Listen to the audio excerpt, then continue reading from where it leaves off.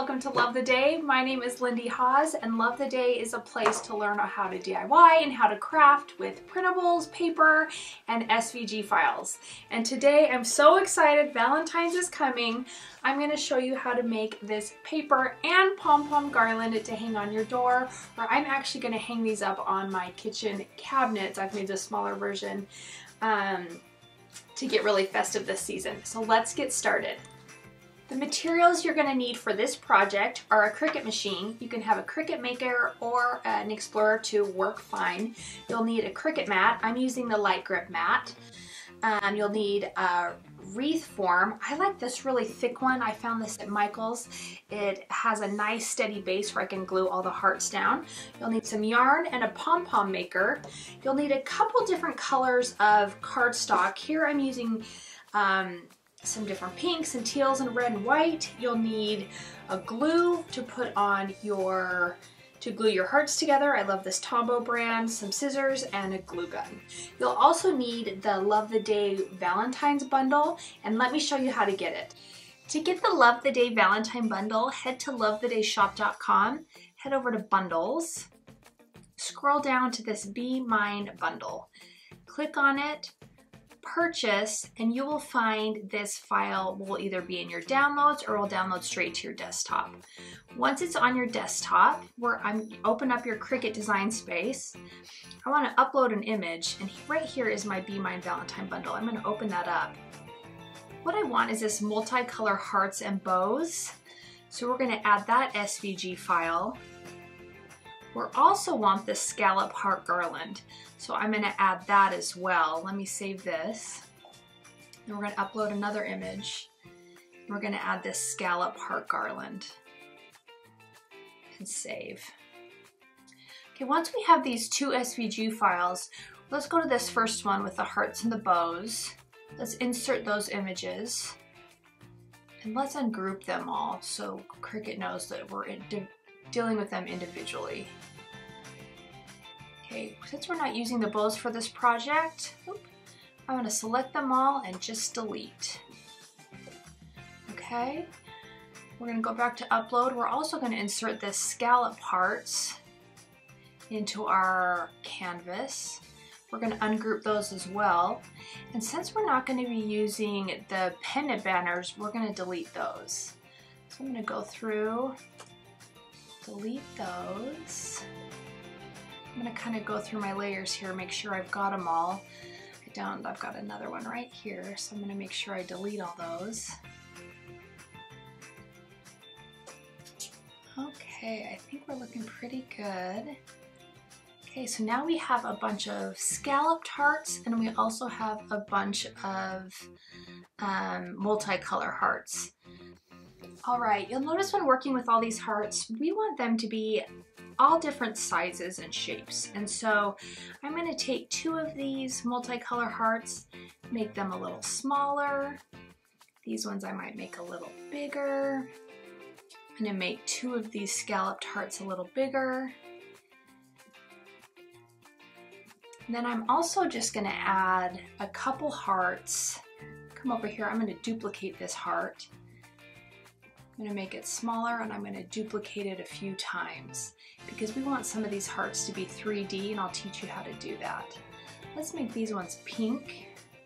So what you can do is over here you can, these are all the colors that our palette is working with and what it does is it automatically assigns it to the mat, the color, the mat that you're using. And so we want these hearts to be pink so they all cut out with on the pink piece of paper. You know, I'm gonna duplicate all three of those and let's turn those red as well.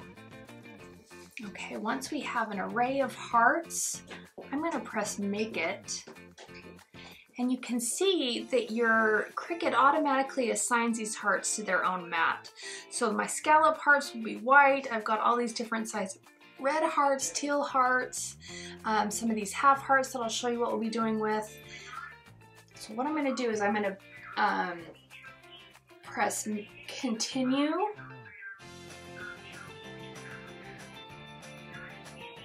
This is our medium, we're going to be using some medium cardstock. I like to put a little more pressure. What I'm going to do next is I'm going to put the paper on my mat.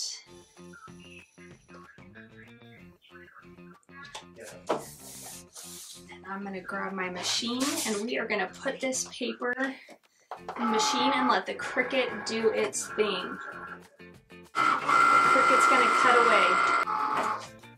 All right, some of our scalloped hearts are cut out. I'm always so amazed at how well the Cricut can cut such fine, intricate shapes. And look at those scallops. We're gonna go on next. We're gonna cut out some red hearts keep adding to our heart collection. So in, after they're all cut out, we can start layering them and um, getting ready to build our wreath.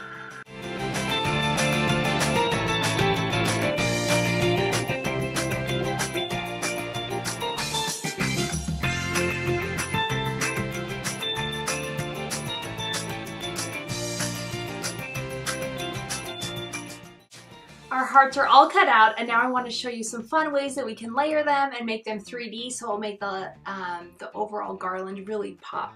So one thing that I love to do is to make these 3D hearts.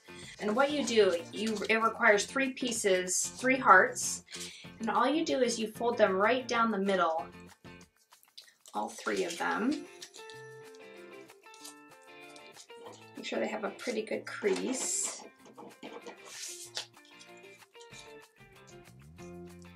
And then I'm going to use my liquid glue. This is the Tombow brand. I like it because it's clear as it goes on, but it also dries clear. And it's pretty strong for paper. It also has two sides. There's kind of this thicker side, and then it has like a fine tip on the other side, depending on what you're doing with your craft. We're going to use this kind of fatter side here. And we're going to um, use this glue to glue two of our halves together. So we're going to start here I'm gonna hold those two hearts together as it just kind of starts to dry. And then as it's drying, I'm gonna do it again to one of the other sides. And I'm gonna add this piece as well. So you can see that there's kind of three prongs to this heart.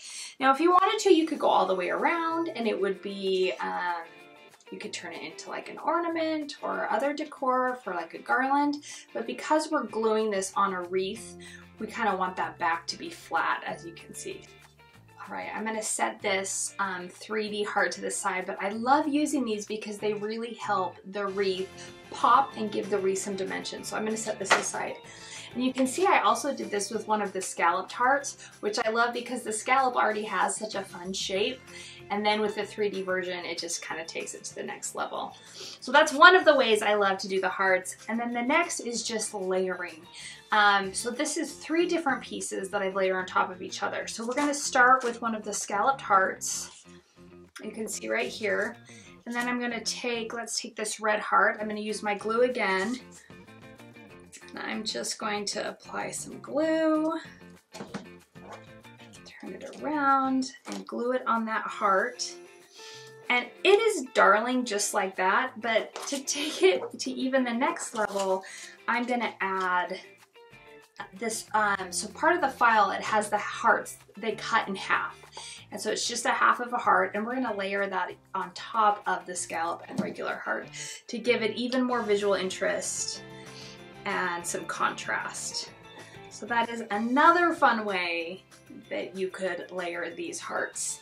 Similar is, um, I've got the big scallops and you could put little hearts inside the big scallops. So here I've got um, a little heart, really big scallop. I'm gonna put that little guy on there. So I'm gonna use this pink to glue on top and now I'll have another added layer. And then I'm also gonna do just a couple, without the scallops, a couple hearts, just regular that are multicolored. So I'm gonna grab maybe this pink and add this red to it. I'm gonna add some light pink, dark pink to give some visual interest to the, to the wreath. We have all of our hearts layered and glued together. We have some really fun colors, really a lot of different shapes, a lot of different dimensions. I even on this 3D one, I added a pink in the center of the red. um, to kind of make it look a little different. So we are gonna start gluing these to our wreath base. Like I said, I found this wreath at Michael's and I love it because it's kind of, it's got this fat base where these hearts will easily glue on. I've got my glue gun and actually before I glue things down, I'm gonna kind of lay them out to make sure that none of the hearts like match, it's none of the matching ones are next to each other. So you kind of want to make sure all the different colors are represented, but apart from their counterparts. And I love these, um, the big scallops with the little hearts. And so you can see I've got two over here, two of the regular size over here, just to kind of make sure that they're all visually represented.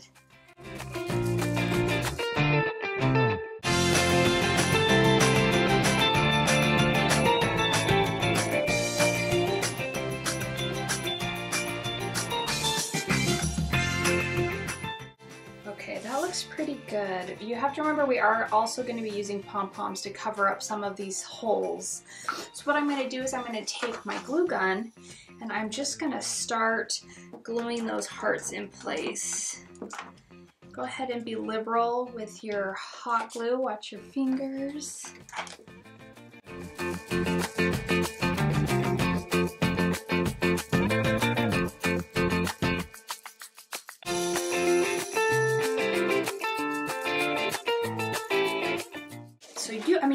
End just like that, but we are gonna make some pom-poms to add this and to take it to the next level. So let me show you how to make pom-poms. All right, the first thing we're gonna do to make a pom-pom is to grab this pom-pom maker and open up the sides. So let me show you first how it works. So a lot of times they'll come, they come apart like this. And so you'll see there's kind of like this needle and it goes in this, this hole right here in the center. So what we're gonna do is we're gonna put it together and we're gonna align these two arcs on either side. Once we have them aligned, we're gonna take our yarn and let me, this is my very best tip is use the cheap yarn. The cheap yarn makes the best pom-pom. So this, the acrylic yarn works the best. So what we're gonna do is we're gonna take this um, pom-pom maker, we're gonna grab our yarn and we're gonna take one of these arcs, like little rainbows, and I'm gonna start wrapping my um, yarn around this rainbow. And what you want to do is constantly have tension on that yarn. So you want to pull, you can see I'm pulling really tight, honestly as tight as I can. Um, it helps make the pom-pom fuller and not as loose because you want, I hate those pom-poms that are like really flimsy. So this will make your pom-pom really full and tight.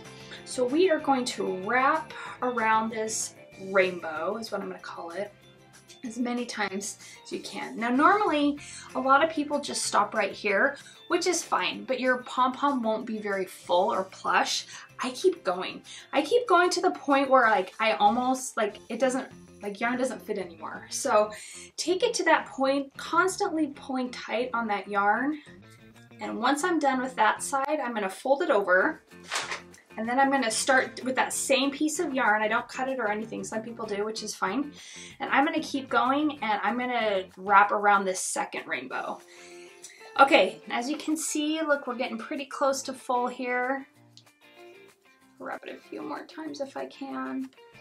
Now what I'm gonna do is I'm gonna shut those rainbows together. You can see, I'm gonna grab my scissors need to have really sharp scissors for this next part. I'm actually going to switch to my Fiskars because they work a little better on um, this.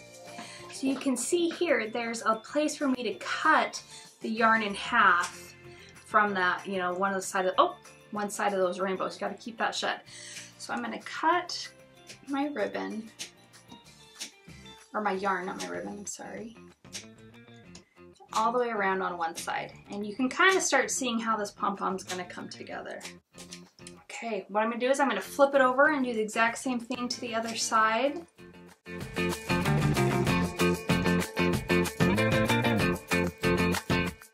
Okay, now you can see that all sides are trimmed. What I'm gonna do next is I'm just gonna cut off a piece of yarn and I'm going to slide this piece of yarn, as you can see down the center, and what I'll be doing is tying those two sides together. So I'm gonna tie a knot. I'm gonna pull pretty tight because I want a really tight pom-pom. I don't want it loose. I don't want frays. I'll tie it again. Okay, the next piece is the best part. You, you open up those rainbows and pull your two pieces apart. And there you have your pom-pom. It looks a little wonky because it hasn't been trimmed. So you take your scissors and you trim the pom-pom slowly in a circle, kind of giving it a haircut. Looks pretty perfect. And there you have your perfect pom-pom. Now that I have a few pom-poms made, I am going to glue them on top of my hearts, filling any gaps that are on the wreath base.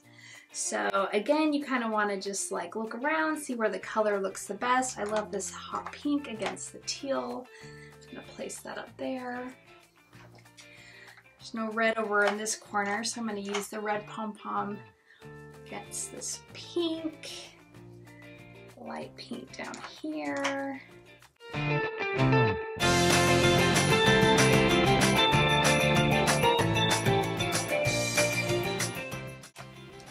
Once we've glued those pom-poms on, kind of let it dry and there you have it. We're all finished with our heart wreath. Now you can leave this as is. You can add a bow up top. You can hang it on the door.